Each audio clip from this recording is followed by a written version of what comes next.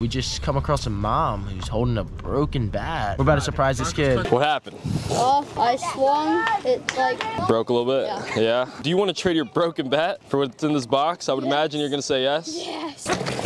Hey, let's go. Oh. Thank That's you. all you're, yeah, no problem.